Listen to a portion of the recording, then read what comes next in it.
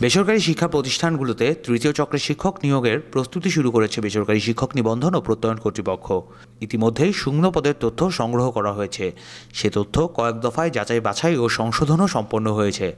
এখন যে কোনো মুহূর্তে গণবিজ্ঞপ্তি প্রকাশ করা হতে পারে।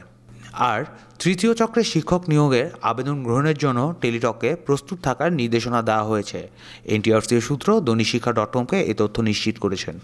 দশ মার্চ এনটিআরসিএকে কারিগরি সহায়তা দানকারী প্রতিষ্ঠান টেলিটকের কর্মকর্তাদের সাথে একটি সভা অনুষ্ঠিত হয়।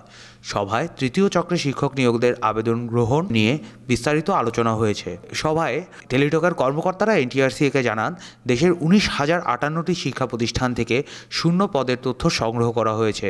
এসব প্রতিষ্ঠানে সাতান্ন হাজার তিনশো আটান্নটি শূন্য পদ রয়েছে। এসব পদে তৃতীয় চক্রে শিক্ষক নিয়োগের গণবিজ্ঞপ্তি প্রকাশ করা হবে।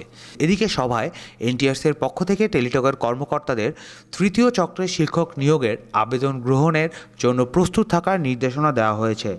এ লক্ষ্যে সফটওয়্যার প্রস্তুত করতেও বলা হয়েছে টেলিটককে।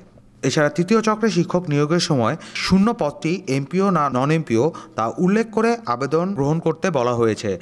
প্রার্থীরা যাতে সঠিকভাবে বিষয়টি জানতে পারেন, সে বিষয়টি নিশ্চিত করতে বলা হয়েছে টেলিটককে। আর সেভাবেই সফটওয়্যারটি প্রস্তুত রাখতে বলা হয়েছে। এছাড়া মহিলা কোটা উল্লেখ করে অনলাইনে আবেদন গ্রহণ করতে বলা হয়েছে।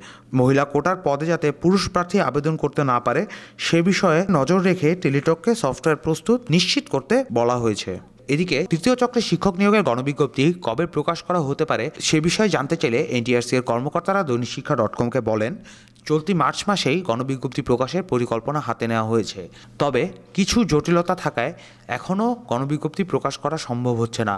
তবে সেই জটিলতা কেটে গেলে খুব শীঘ্রই গণবিজ্ঞপ্তি প্রকাশ করা হবে। রুমান্তুর্য দৈনিক শিক্ষা।